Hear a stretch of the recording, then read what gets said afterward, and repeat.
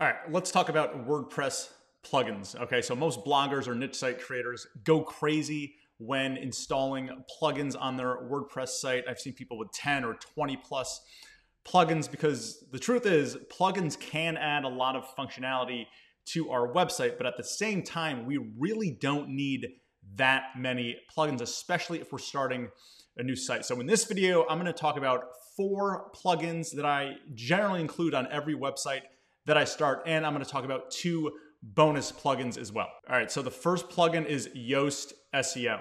Now, most of you guys are probably familiar with the Yoast plugin. Um, it is arguably the best quote unquote SEO plugin. Rank Math is up there, it's another popular one. I don't really care which one you choose, but we do want an SEO plugin on our site just to do some basic things like set up breadcrumbs, submit a sitemap to the search engines. With Yoast, we can enter a meta description and so on and so forth. So those little things like setting our slug, um, it just makes it easier with Yoast. Now, the main reason that people actually use Yoast is not very helpful that I find, right? And that's the kind of SEO analysis tab that you see inside of Yoast, where you give Yoast a keyword and then they give you kind of like a checklist of 10 or 12 things with the green light, the orange light, the red light telling you, right? Did you include your keyword enough? Is your post more than whatever it is, 500 words? Do you have internal links? Do you have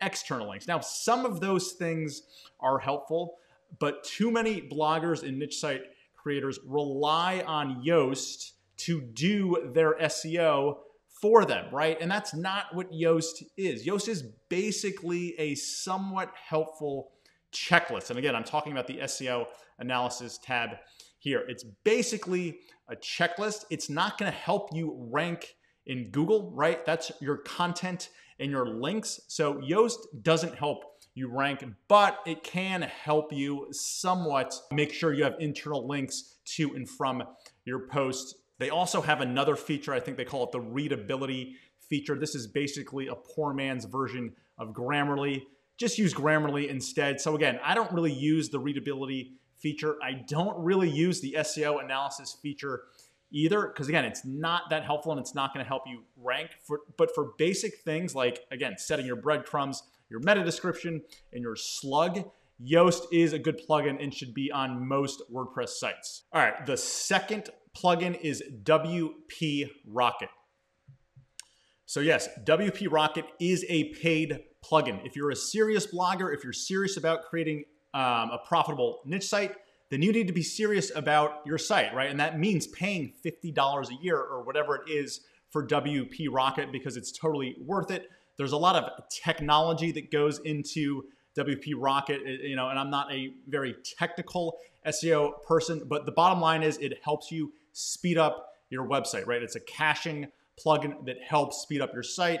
And site speed is somewhat of a, I will say, over overdone ranking factor, right? Um, I don't think it's as important as most people paint it out to be, but we do want our sites to load as fast as possible, not just for Google, but for our users, right? We want our users to be able to access and navigate and click around on our site as quickly as possible. And WP Rocket is the best caching plugin that can do that. Again, it's paid, but it's very reasonably priced. So you definitely need a caching plugin. If you're gonna get one, you might as well get the best one. So again, plugin number two is WP Rocket. All right, the third plugin is Short Pixel. So again, along the same lines of speeding up our website, we want our website to be as fast as possible and images, right? The images on our site are one of the bigger things that slow down our site. When we upload a lot of images, when we upload a lot of big images, that can really slow down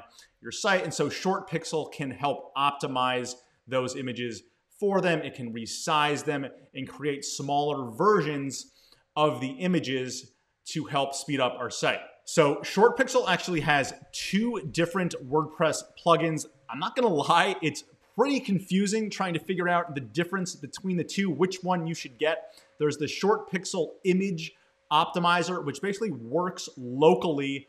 Um, so it works with the images on your website. They also have the short pixel adaptive images, which works with their CDN. So the adaptive plugin is basically more advanced. They recommend it mostly um, for most websites, right? They only recommend the image optimizer if most of your audience is local, and that's probably not the case for you. So you're probably looking at the short pixel adaptive images. Is it is paid, but I'm looking at the pricing page right now, and they go by kind of traffic visitors per month. So at 35,000 visitors per month, you're looking at four dollars per month. At 80,000 visitors per month, you're looking at eight dollars per month. So again, totally reasonable. It helps our site speed. It optimizes our images. So I definitely do recommend Short Pixel. Now, one quick aside here before we continue with the plugins, I will say if you are using the Trellis theme by Mediavine, which is the theme I've been using on all of my new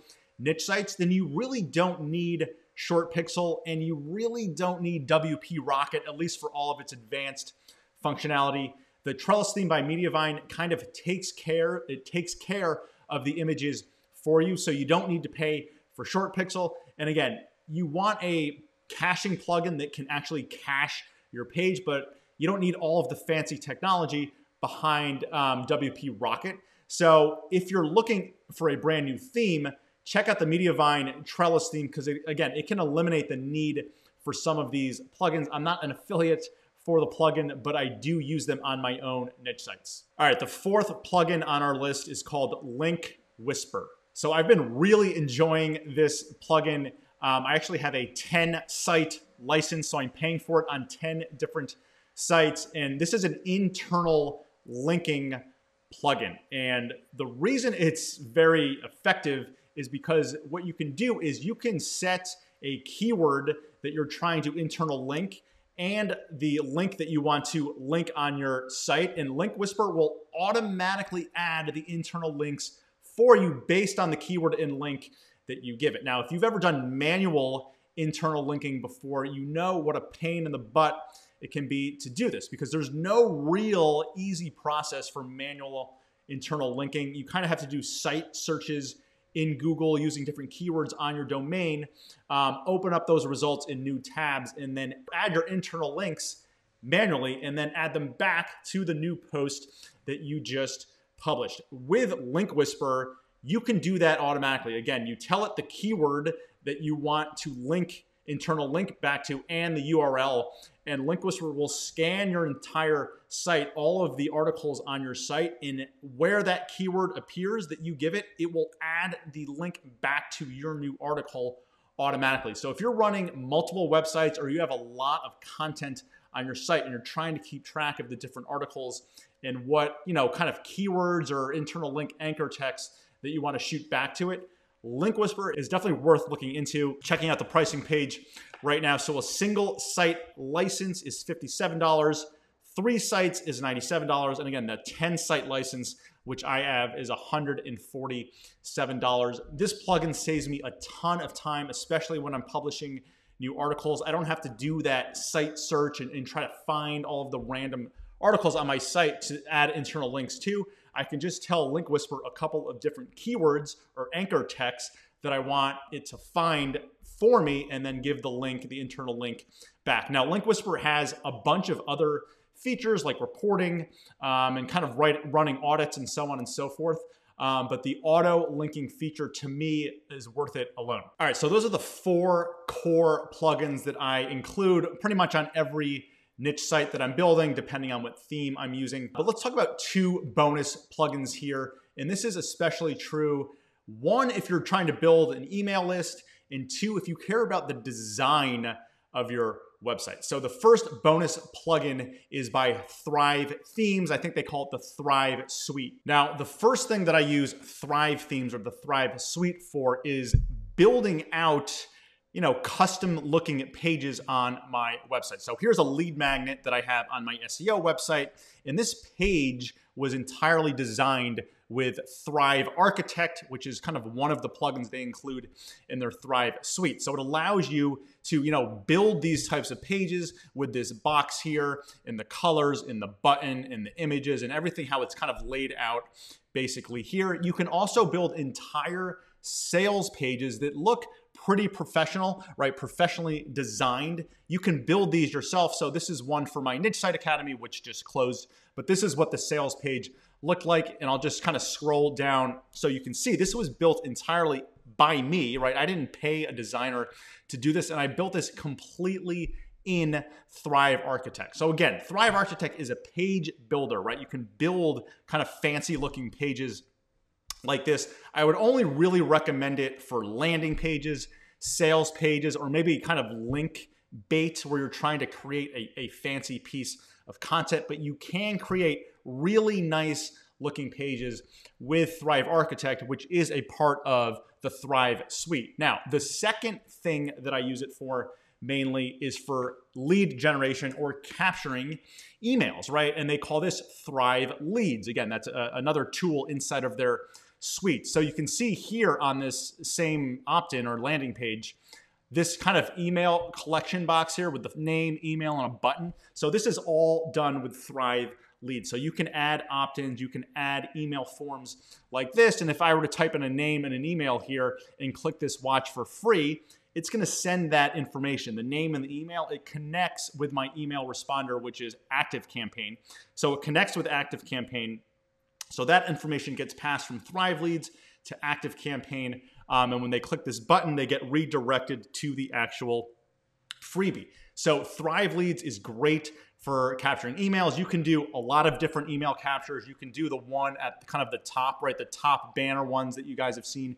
You can do pop ups, exit intent pop ups. You can do slide ins, right? Pop ups that are not pop ups, but um, opt ins that come in from the side in content pops up. So if you're focused on building your list, um, Thrive Leads is what I've been using for years and years. Again, you're not going to really use these on your everyday blog articles, but for collecting emails, for landing pages, for sales pages, I definitely recommend looking into the Thrive Suite. And then the second bonus plugin that I recommend is Generate Blocks. So, you know, with basic WordPress Gutenberg, it's not impossible, but it's somewhat difficult to create kind of nice looking websites, a nice looking homepage, a nice looking landing page. So Generate Blocks is basically somewhere in between the classic Gutenberg and Thrive Architect, right? It's more lightweight, it's easier on your page speed, but you can design good looking about pages, home pages, and let me just show you a few examples from their website. So I'm on the Generate Blocks template area right here, right? And so it shows you all of the things or the types of pages or the types of elements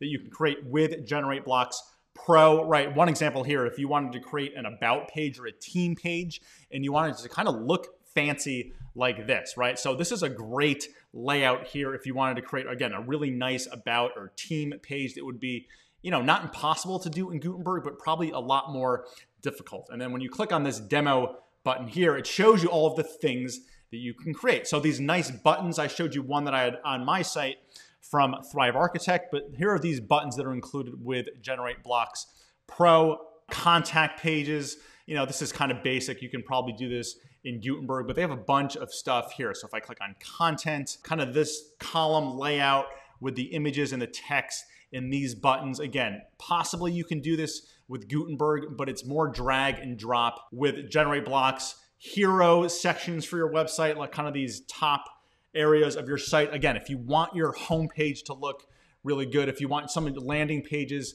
to look really good, or maybe even some sales pages as well. Let me show you a few more that I like. So these info boxes here with this image, you've got this little styling here with the check mark, and then these icons down here. Again, these are kind of drag and drop that you can customize pretty easily using Generate Blocks. Let me show you one more, which is a pricing table, right? So Maybe you're doing kind of an affiliate type of article. Maybe you're selling something on your own website. Just to be able to create this styling, right? These really nice looking elements is a great feature of Generate Blocks. It's reasonably priced. It's really easy to use. So again, if you're doing some more advanced stuff on your blog or your niche site in terms of design, um, then I do recommend checking out Generate Blocks Pro. All right, so with WordPress plugins, that's really all it is for me. It's kind of those four core plugins, Yoast, WP Rocket, Short Pixel, and Link Whisper. And if you're trying to take your site to the next level by collecting email addresses or building landing pages